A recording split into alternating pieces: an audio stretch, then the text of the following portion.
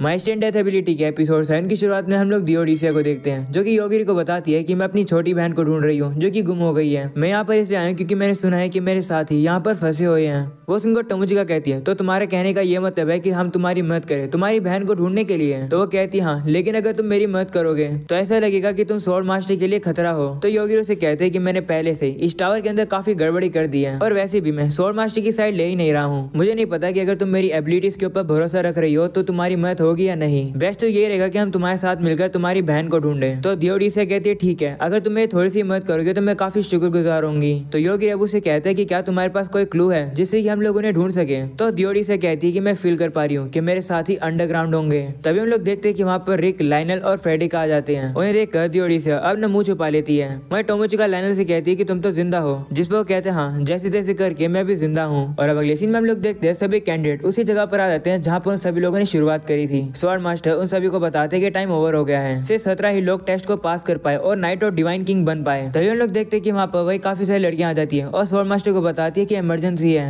ये tower first barrier को maintain नहीं रख पा रहा है और सेकंड बैरियर भी काफ़ी ज़्यादा अनस्टेबल है। अगर ऐसे चलता रहा तो बैरियर टूट जाएँगे और डार्क और रिलीज़ हो जाएगा। तभी हम लोग देखते हैं कि वहाँ पर काफ़ी बड़ा धमाका होता है और हम लोग देखते हैं कि जो फ़र्स्ट बैरियर है वो टूट जाता है और जो दूसरा बैरियर है वो भी काफ़ी जल्द टूटने वाला है। हम लोग एक डीमन को देखते हैं जो कि सामने से आ रहा होता है। वो कहता है कि मुझे लगा कि अगर मैं टावर को उड़ा दूँगा तो बैरियर भी डिसअपियर हो जाएगा। पर ऐसा तो हुआ ही नहीं। उस बंदे को देखकर ही कहने लगता है की मैं सेंस कर पा रहा हूँ कि ये बंदा काफ़ी पावरफुल है। वहीं पर सोल मास्टर कहने लगता है, मैंने सुना था की अब से तीन दिन बाद यही होगा। वह सभी से कहते हैं की डिवाइन किंग के नाइट के तौर पर यह तुम्हारा पहला टास्क है। तुम्हें इस बंदे को हराना होगा। नहीं तो जितने भी ह्यूमैनिटी और ये दुनिया है, तबाह हो जाएगी। वहीं पर हम लोग योगिरी को देखते हैं, जो कि टोमोचिका और दियोडेसे को वहाँ से ले जाने लगता है और कहते हैं कि हमारे पास समय, हम लोग को अंडरग्राउंड जाना चाहिए। वो सुनकर टोमोचिका से कहती है, क्या तुम यहाँ पर चीज़ों को हैंडल नहीं करोगे? तो योगिरी कहते हैं, नहीं। अगर मैं उस बंदे को हरा दूँगा तो सोल मास्टर को मुझ पर शक हो जाएगा। तो बाकी सभी लोग को उस बंदे को हराने दो। तो इस बात पर दियोडी से भी एग्री करती है और अब वो लोग चले जाते हैं अंडरग्राउंड दूसरी तरफ़ अब हम सभी लोग को देखते हैं, जो की उस बंदे से लड़ने के लिए तैयार हो जाते हैं। वो बंदा नीचे आकर सोल मास्टर से पूछता है की मुझे बता दो की बेरे कैसे हटा सकते हैं। अगर तुम मुझे बताओगे तो मैं तुम्हें नहीं मारूँगा। तो सोल मास्टर से कहते हैं, तुम्हें क्या लगता है की मैं तुम्हें ये बताऊँगा?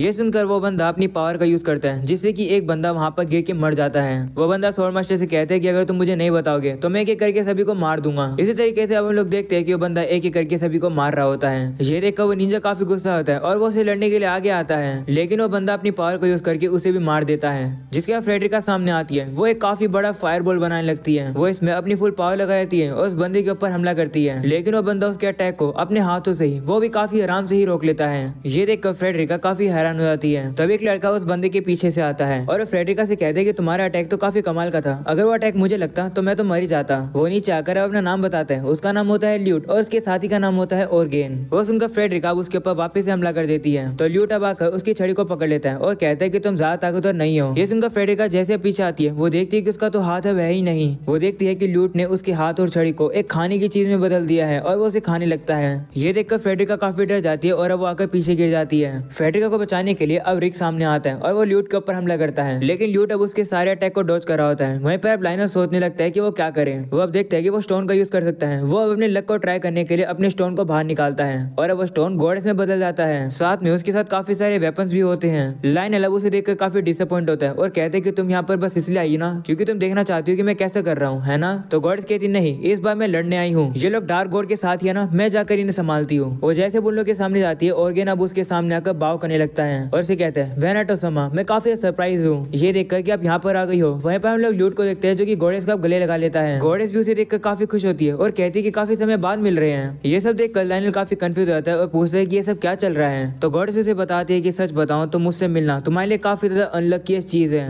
मैं तो खुद ह्यूमैनिटी को खत्म करना चाहती हूँ। ये सुनकर लाइनल काफ़ी ज़्यादा शौक हो जाता है। वहीं दूसरे हम लोग उन्हीं लोगों को देखते हैं। वो लोग सीढ़ी से नीचे उतर रहे होते हैं, लेकिन सीढ़ी तो खत्म हो ही नहीं रही होती है। तो मौका मौका उन्हें बताती है कि शायद से यहाँ पर एक बैरियर है, जिसके से ऐसा लग रहा है कि ये सीढ़ी इनफाइनाइट है। वहीं पर अब ड्योडी से कहती है कि मैं सेंस कर पा रही हूँ कि मेरे साथी आस पास ही है। वो सुनकर टमोचिका योगिरी से कहती है, क्या तुम इस बैरियर को डिस्ट्रॉय नहीं कर सकते हो। जैसे तुमने उस दिन मोको मोको की मदद करी थी तो योगिरी कहते, नहीं, मुझे लगता मुझे ऐसा करना चाहिए। ड्योडी से के साथियों ने ही ये बैरियर बनाया होगा। तभी अचानक से हम लोग देखते हैं कि वहाँ पर एक अजीब सी चिल्लाने की आवाज़ आती है और वहाँ से जो बैरियर होता है वो टूट जाता है। वो लोग अब नीचे जाने वाले होते हैं, तभी टोमोजिका फील करती है कि उसके पास से काफ़ी तेज़ी से कोई चीज़ गई है। वो अब काफ़ी डर जाती है और योगिरी को पकड़ लेती है। योगिरी अब उसे पूछता है, क्या हुआ? जिस पर वो बताती है की अभी अभी एक ऐसा मोस्टर जो की ब्लेड की तरह था, वो मेरी बॉडी से पास होकर गया है। ये सुनकर योगिरी कहता है, क्या? तभी दियोडी से हम लोग को नीचे बुलाकर कहती कहती है कि मैं यहाँ पर कुछ फील कर पा रही हूँ। वो लोग अपन जताते हैं और जैसे दियोडी से अंदर जाती है, वो काफ़ी ज़्यादा शौक हो जाती है। क्योंकि वो देखती है कि उसके साथियों को कुछ ग्लासेस के अंदर रखा गया है। वो देख कर योगिरी टोमोचिका से कहते कि तुम भारी रुकना।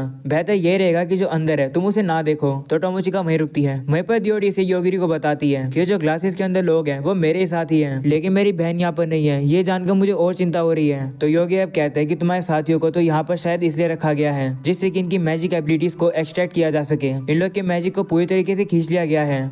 से ये सुनकर कहती हाँ मैं सभी लोग को मार देती हूँ, जिससे कि इन लोग को और ज़्यादा सफ़र नहीं करना पड़ेगा। जिसके बाद वो सभी को मार देती है। योगी रे बाहर आते तो टोमोचिका कहती है की मैंने सारी बातें सुन ली। अब हम लोग को क्या करना चाहिए? तो योगी रे उसे कहते हैं की सबसे पहले हम लोग को वापिस ऊपर जाना चाहिए। और क्या करना है? वो तो उसी पर डिपेंड होगा की क्या हो रहा है। वही योगी दियोड़ी से कहते हैं कि, तुम क्या करोगी? तो कहते हैं की, मैं अपने साथियों का बदला लूँगी स्वord मास्टर से। उस स्वord मास्टर को मैं मार दूँगी। वो सुनकर योगिरी कहता है, ठीक है। अगले सीन में अब हम लोग उसी स्वord मास्टर को देखते हैं, जो कि रिच से कहते हैं कि ये सिचुएशन काफ़ी खराब है। मैं तुम्हें क्वालिफाई कर रहा हूँ स्वord मास्टर बनने के लिए। तुम्हें मेरी बेस्ट चॉइस हो अभी के लिए। अगर मैं मरा तो ऑटोमेटिकली तुम स्वord मास्टर बन जाओगे।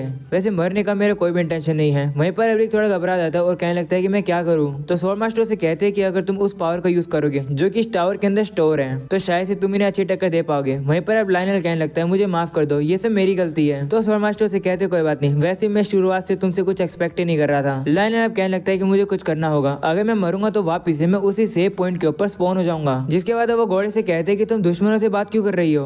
वो सुनकर एक समझ आता है कि लाइनल थोड़ा सा टाइम बाय करने की कोशिश कर रहा है। घोड़े सब लाइनल को बताती है कि जो मेरे डार्लिंग है, वो अचानक से कहीं पर गायब हो गए थे और वो कभी वापिस ही नहीं आए। वैसे मेरा डार्लिंग और कोई नहीं, बल्कि वही है जो की इस बैरियर के अंदर है, यानी डार घोड़ अलबार गामा। ये बस सुनकर सभी लोग हैरान हो जाते हैं और कहते हैं, क्या वो तुम्हारा डार्लिंग है? तो गोडेस कहती है हाँ जब भी मैं इस दुनिया के अंदर अलग अलग मैसेंजर को भेजती हूँ, मैं डार्लिंग को ढूँढने गए तो मुझे पता चला की वो यहाँ पर सील हो रखा है और फ़र्क नहीं पड़ता की मैं किसी को भेजू। मैं सोल मास्टर को हरा ही नहीं पाती। तो मुझे लगा कि अगर मैं लाइनल, जिसके पास काफ़ी बेकार लक है, उसे भेजूँगी तो मैं डार्लिंग तुम्हारे बैड लक से वापिस आ जाएगा और ह्यूमैनिटी को डिस्ट्रॉय कर देगा। ये सुनकर लाइनल काफ़ी दुखी होता है और कहते हैं, क्या तुम मेरे बैड लक का यूज़ इस तरीके से करने वाली थी? तभी ल्यूट गोडेस को बताते कि जो बैरियर है, वो बस टूटने वाला है। ये सुनकर अब गोडेस चेक करती है और हंसने लगती है और कहती है की लगता है इस टावर का क्रिएटर मर गया। अगर वो यहाँ पर होता तो वो बैरियर को इमीडिएटली फिक्स कर देता। और जो वो गोडेस किलर था, वो भी मर गया। अच्छा हुआ कि वो मर गया, नहीं तो मेरे लिए प्रॉब्लम खड़ी कर देता। अब हमें रोकने के लिए कोई भी नहीं है। वो सुनकर लाइनर कहता है कि अगर ये सब कुछ मेरी वजह से हो रहा है तो मैं मर जाता हूँ, जिससे कि सारी प्रॉब्लम खत्म हो जाएगी। तो गॉडेस कहती है, ठीक है, लेकिन तुम असलियत में मर जाओगे,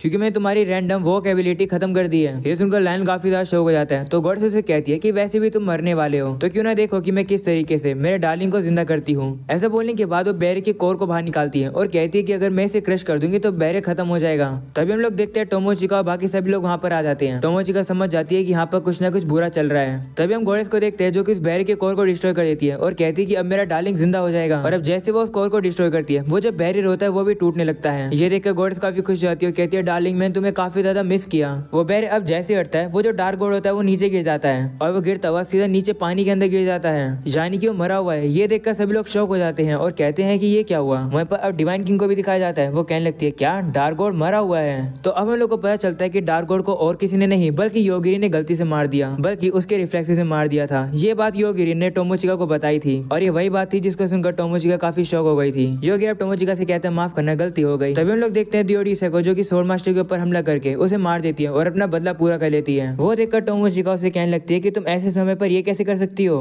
तभी हम लोग उसे अग्रेसर को देखते हैं, जो की घोड़े के ऊपर आकर हमला कर देता है। वो देखकर योगी टोमोचिका से कहते हैं कि क्या यही अग्रेसिव वही ब्लेड मोस्टर है, जो की तुमने अंडरग्राउंड देखा था? तो टोमोचिका कहती है हाँ शायद से। हम लोग अब उसी अग्रेसर को देखते हैं, जो कि गोडेस के अंदर से कुछ पावर्स को खींच रहा होता है और अब अग्रेसर उसे वहीं पर फेंक चला जाता है। ये देखकर ल्यूट जल्दी से गोडेस को जाकर हील कर देता है। और अब गोडेस जैसी हील होती है, वो पागलों की तरह हंसने लगती है। वहीं पर हम लोग ऑर्गिन को देखते हैं जो की पानी में से डार्क गोड को बाहर निकाल लाता है और कहते हैं कि डार्क गोड हमारे मास्टर है, जो की लिविंग सेक्रीफाइस चाहते हैं। उनके लिए हम सभी इंसानों को मार देंगे। ये बात सुनकर उसके साथ ही मोस्टर्स वहाँ पर उन सभी लोग को घेर लेते हैं और गेन अब उन मोस्टर्स को उनके ऊपर हमला करने के लिए भेज देता है। तभी वहाँ पर डिवाइन किंग आती है, जो की अपनी पावर का यूज़ करके उन लोग को बचाती है। ये सब देख कर योगिरी कहते हैं कि यहाँ पर तो काफ़ी सारे मोस्टर्स है। तो चिका और दियोडिसिया, तुम लोग मेरे करीब आ जाओ। ये सुनकर वो लोग उसके पास आते हैं, जिसके बाद योगिरी अपनी एबिलिटी का यूज़ करता है। इससे ऑर्गेन और उसके सारे मोस्टर साथ ही मर जाते हैं और वो नीचे गिरने लगते हैं। ये देख कर कहता है कि ये क्या हो रहा है। मैं टोमोचिका योगिरी से क्षमा कर कहती कि तुमने हम लोग को करीब क्यों बुलाया? जिस पर कहते हैं, क्योंकि ऐसे करने से तुम लोग को प्रोटेक्ट करके रखना काफ़ी इजी है। जिसके बाद योगी से योगिरी से कहती है कि हम लोग उस घोड़े का क्या करें? क्या तुम उसे ऐसे छोड़ने वाले हो? तो योगिरी कहता है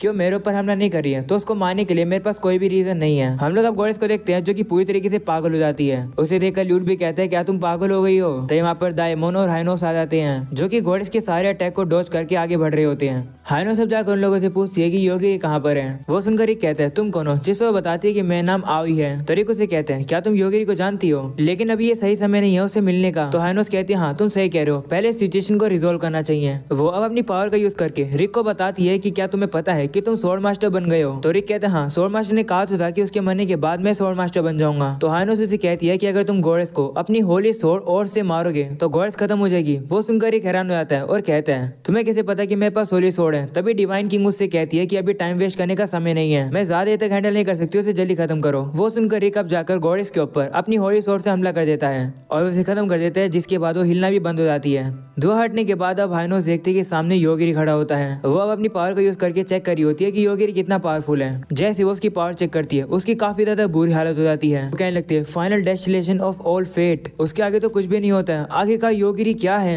ये तो सभी का खात्मा कर सकता है। वो अब कहने लगती है, शियोन, आखिरकार तुमने ऐसे बंदे को यहाँ पर क्यों समन किया है? हाइनोस की हालत बुरी हो जाती है, वो तो उल्टी भी करने लगती है। वो देखकर योगिरी कहते हैं कि, लगता है इसकी तबियत खराब है। तो हाइनोस उसे कहती है, नहीं, मैं ठीक हूँ। थोड़ा से रेस्ट लेने के बाद मैं ठीक हो जाऊँगी। मैं तो बस डायमंड को तुम्हारे पास लेकर आई हूँ, क्योंकि मुझे पता चला कि तुम लोग स्कूल मेट्स हो। तो योगिरी कहते हैं हाँ लेकिन मुझे इसकी कोई भी ज़रूरत नहीं है। तो हाइनोस कहती है, ठीक है फिर, ऐसी बातें तो मैं उसे मार देती हूँ, लेकिन मुझे छोड़ दो। ऐसा बोलने के बाद वो डर के मारे वहाँ से भाग जाती है। वही योगिरी डायमंड से कहता है की, तुमने तो एक कॉलर पहना था जिससे की तुम मेरे सारे ऑर्डर्स ओबे करे थे। क्या वो सब एक झूठ था? तो डायमंड कहते, नहीं, वो झूठ नहीं था। दरअसल जो कॉलर का इफ़ेक्ट था, वो खत्म हो गया था। तो मैं फ्री हो गया। वो सुनकर योगिरी कहते हैं, ठीक है, फिर। अगले सीन में हम लोग देखते हैं कि सभी लोग तो मारे जा चुके हैं और जितने भी लोग बच्चे हैं, वो एक साथ इकट्ठा हो जाते हैं। रिक अब दियोडी से कुछ पूछने वाला होता है, जिस पर से उसे कहती है कि, मैंने सोल मास्टर को इसलिए मारा क्यूँकी मैं अपने साथियों का बदला ले रही थी उससे। इसे तुम्हारा कोई लेना देना नहीं है। तो रिक कहते हैं, लेकिन अभी सोल मास्टर तो मैं बन गया हूँ। वो सुनकर दियोडी से कहती है तो फिर क्या तुम पिछले सोल मास्टर की तरह ही बुरे काम करोगे? तभी योगी उन लोग को शांत कराते हैं और कहते हैं कि हम लोग को अंडरग्राउंड चलना चाहिए, जिससे हम लोग को सभी सबूत मिल जाएँगे।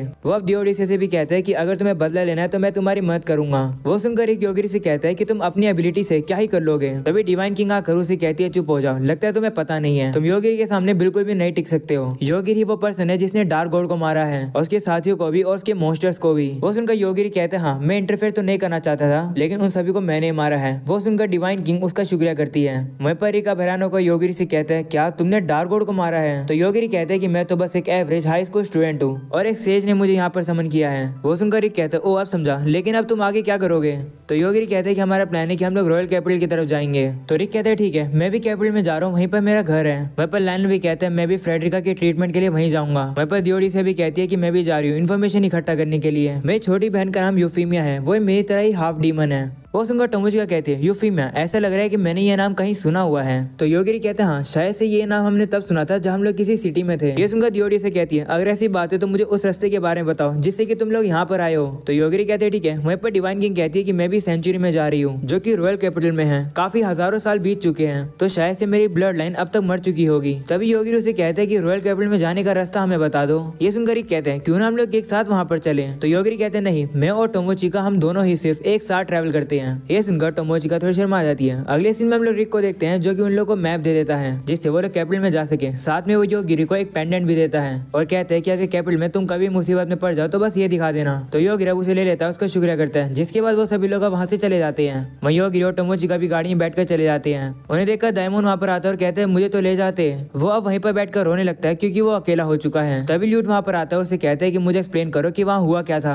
अगले सीन में हम लोग शियोन के साथी को देखते हैं, जो कि शियोन को बताता है कि हाइनोस गैरुला कैनियोन में गायब हो गई है। तो योगिरी का तुम क्या करोगी? तो शियोन कहती है कि मुझे समझ नहीं आया कि योगिरी आखिर है क्या। तो उसका साथी कहते हैं, क्यों ना हम लोग सेज कैंडिडेट से पूछे योगिरी के बारे में? तो शियोन कहती नहीं, मिशन के अलावा मैं और चीज़ों में इंटरफेयर नहीं करना चाहती हूँ। मैं काम करती हूँ, मैं एक ऐसे पर्सन को जापान से समन कर लेती हूँ जो की योगिरी को जानता हो। तो वो ऐसे करती है और वो वहाँ पर एक बंदे को समन कर लेती है, जो की एक साइंटिस्ट होता है। वो साइंटिस्ट काफ़ी कंफ्यूज होकर कहते हैं कि आखिरकार ये कौन सी जगह है, मैं कहाँ हूँ? तो शियोन उसे अपना नाम बताती है और कहती है कि मैंने तुम्हें यहाँ पर समन किया है। मैं तुमसे योगिरी के बारे में कुछ पूछना चाहती हूँ हूँ। वो सुनकर वो साइंटिस्ट काफ़ी ज़्यादा शोक हो जाता है और कहते हैं, क्या? इसका मतलब पैरेलल वर्ल्ड एग्जिस्ट करते हैं? कहीं यहीं से तो योगिरी की पावर नहीं आई थी। वो अब अपना फ़ोन निकालता है उसके ट्रैकर में उसे योगिरी का सिग्नल मिल जाता है, जिसे देखकर वो काफ़ी खुश हो जाता है और शिवन से कहता है कि, अगर तुम योगिरी को इस दुनिया में ले आई हो तो तुम हमारी सेवियर हो। तुमने हमारी दुनिया बचा ली। शुक्रिया इसके लिए। तभी अचानक से उसके फ़ोन के अंदर एक अलर्ट आ जाता है, जिसमें लिखा होता है alpha omega standard opening of gate number one confirm self destruction activated ये देखकर वो साइंटिस्ट काफ़ी घबरा जाता है और शिवन से कहते हैं, मेरी मदद करो। मैं मरना नहीं चाहता हूँ। इसे जल्दी से मुझे मेरे ओरिजिनल वर्ल्ड में वापस भेज दो। वो बोल ही रहा होता है, तभी टाइम ओवर हो जाता है और वो वहीं पर मर जाता है। वो देखकर शिवन सदमे में चली जाती है और कहती है, योगी, आखिरकार तुम कौन हो?